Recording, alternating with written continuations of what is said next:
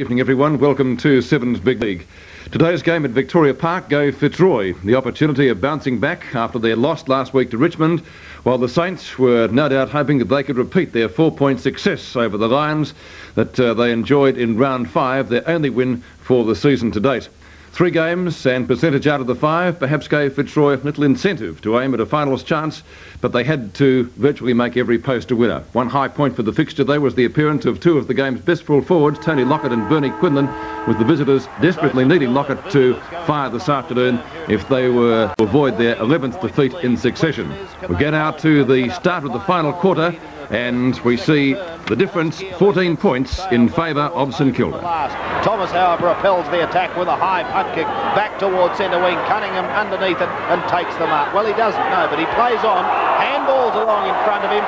But there's the inconsistency when we saw in the last quarter the player was given the football. So really what Tony Bryant is doing is beyond question That's not the players' fault. It is without doubt the players showing their confusion at the umpire's inability to make a sensible decision. Do you agree, Robert?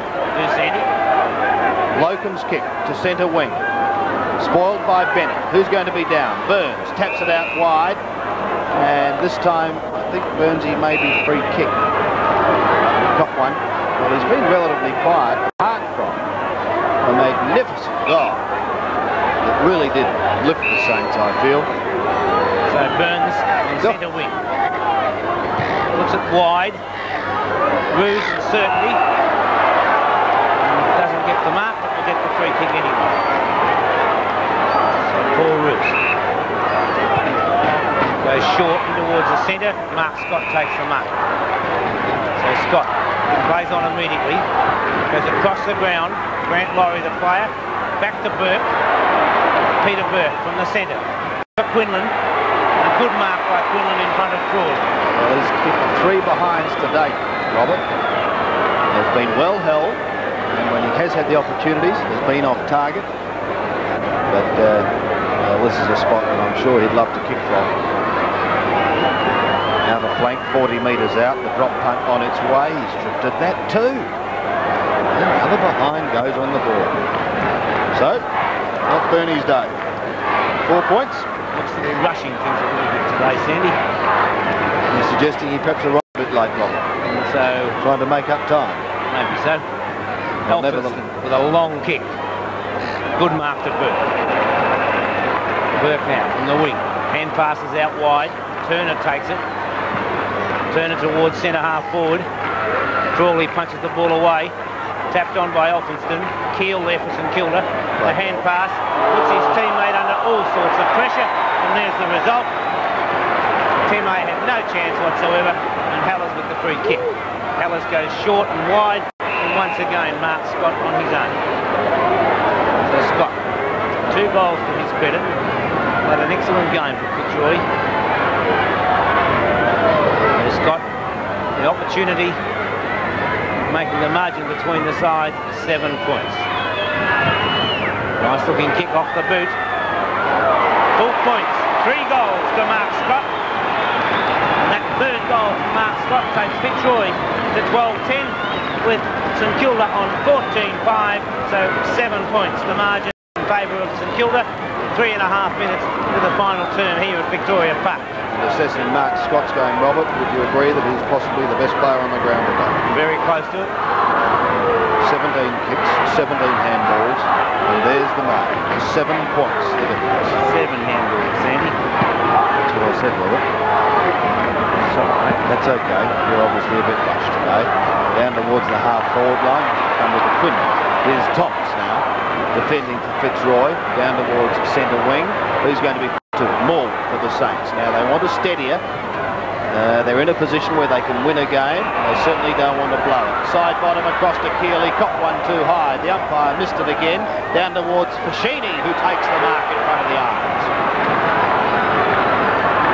Well, Silvio's got a sniff of those goals. He's contributed two. And an excellent chance of a quick reply. Here's the drop punt on its way from Foschini. A good looking kick and he's goal. so the Saints steady once again. The margin 13 points. As you said earlier, Sandy, uh, we don't see a lot of St Kilda, but judging by the press, Silvio Foschini has been playing quite well. It was a surprise to see him start on the interchange bench.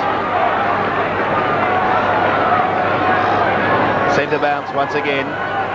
Can St Kilda hold this lead? Can the Roys fight back?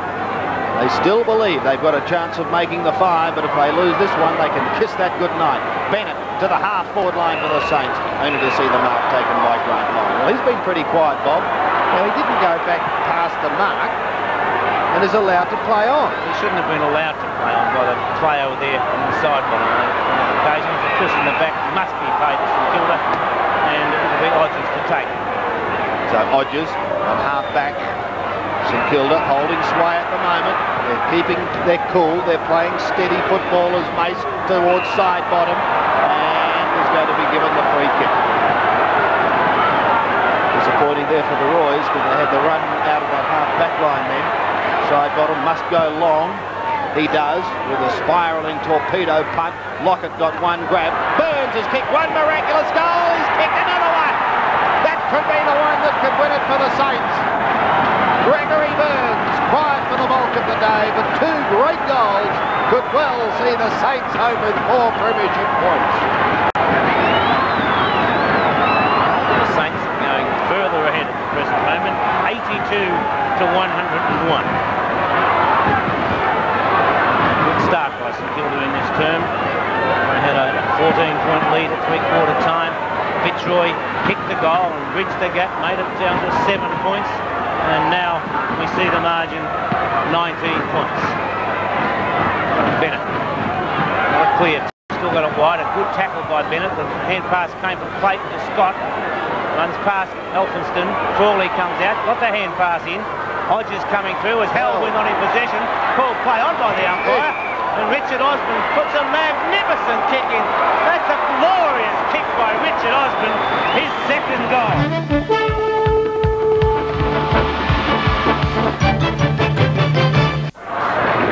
Played just 10 and a quarter minutes of this final term. Pert, members side, finds his teammate there in peak to centre wing, and Hallis interfering with Mace, so it will be the St Kilda boy, who's had a pretty good game, Robert, hasn't he? 14 kicks. Put the Saints back in towards uh, their attacking zone, Thomas uses his muscle on the ground and then goes short to Logan defensive side of centre. Billy dummies once, steadies, up to half forward. Hodges and Barwick. Oh, good mark by Barwick because uh, Gary Hodges grabbed the jumper, had a bit of a name, but Barwick with his strength was able to maintain his position, take them, and will now have a shot. He's right on the edge of the shadow, so that sun wouldn't be helping. Clayton off the ground, Sandy. Well, that's an interesting move because he's been playing pretty well. There's a kick for behind. Bernie Harris comes onto the ground. Yes, that is interesting. 13-12, Fitzroy, St Kilda are 16-7, 13 points the margin. Robert? Hodges now.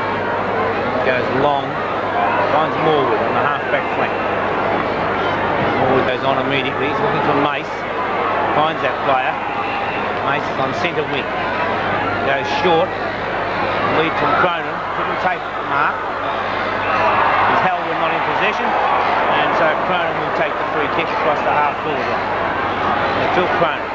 He goes short. Narkle, the player he's looking for. Narkle takes it. Narkle probably just too far out to score, but if he gets onto it at all, he'll have a chance. And if he does kick it, Robert, it's going to make it very, very difficult for the Roys. I know we're only in the 13th minute. But it means they've got to make up four goals. Well, he has no run up at all in that kick. Gets right underneath it. It goes into the square. Brown will be there, but he's collared immediately, and it goes over the line. But he what? He stammered with two little steps and then kicked the foot. So our kicking expert is behind us. We can ask Peter McKenna later, Sandy. Yes, he's standing with Scott gets a tap down. Cooper. Cunningham takes a well-judged mark. That's a good mark to Gerald Cunningham. To Geoff Cunningham, I should say. Cunningham's kick. Looking for Lockett. But at the back, Lockett can't take the mark. A nice one to Cooper, who plays on to Turner. Turner tackle, gets the hand past the cross, on to Burke.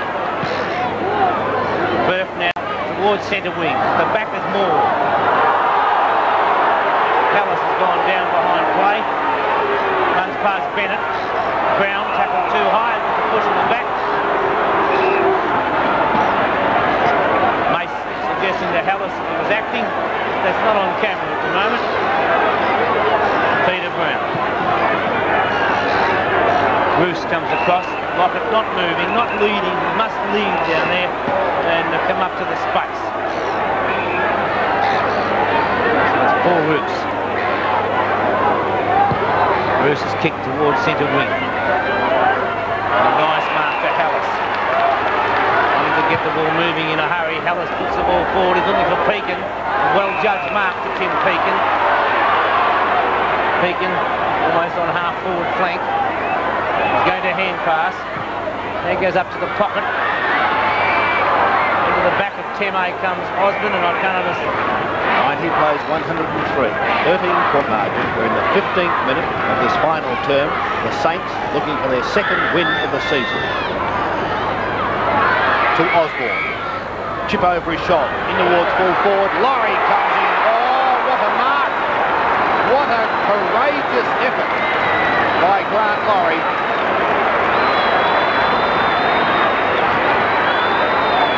He will have a shot only 20 metres out.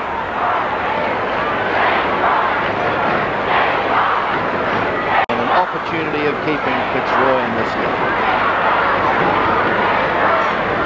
Shocking one to grab. High ball. Both players. Eyes on the football running towards it. But it was Laurie who won. I prefer to be in Grant Laurie's position than Gary Hodges all the same. Gary Hodges is a player that would go in where Andrew's feet of tread anyway. But here's the kick. And it's good. And the Roys are still in this game. Can they come back? The margin now is just seven points. 14-12 plays 16-7 on Seven's big lead. We're midway through the final term, so still anybody's game here in Victoria Park. Can they get up, Robert? What are your thoughts? Of course they can, Sandy. They're only uh, I asked you your selection, Robert. away. And uh, I'm inclined to think that St Kilda might just come on, but the next goal is a. Burns tries to take it out of the centre, does so. Good play by Burns. Hooks it down. Lockett in front. Makes the difference, Sandy. Tell you what, there's a Fitzroy boy down behind play in uh, Dean Turner. It's not on camera.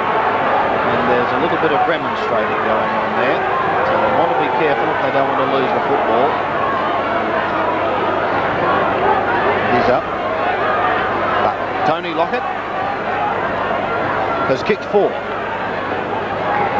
And this is probably the most important kick he's had for the night directly in front, 30 metres out, running out of the shadow, into the sunshine. He stabs away at a drop punt, and he's deadly accurate. His goal, they again open up the margin. So they're able to hold them off at the moment. 17-7 plays 14-12 on 7's big lead. Five goals to Tony Lockett. Five goals straight. An excellent kick for goal. There's Gary Pert shielding the sun from his eyes. And uh, Gary Lockett. Gary Pert, Tony Lockett. That's Andrew Bennett, former Hawthorn player who has done quite well as he's gone to the ruck. Keel trying to get it out. Hand pass to Cunningham. Tapped on by Cunningham to Bennett. Good play by Burns. Burns to Cronan. Cronan going goalward. Nice looking kick off the boot. Three goals to Cronan. An excellent play by both Cunningham and Burns. You're watching Seven's Big League, part of the Nissan VFL Premiership season.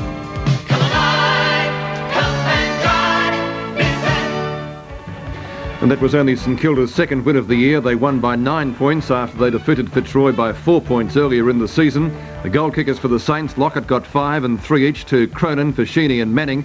It did, of course, break a run of 11 outs by the Saints. And for Fitzroy, Keane got five goals and three each to Scott and Richard Osborne. Bernie Quinlan finished up with only five points from six shots.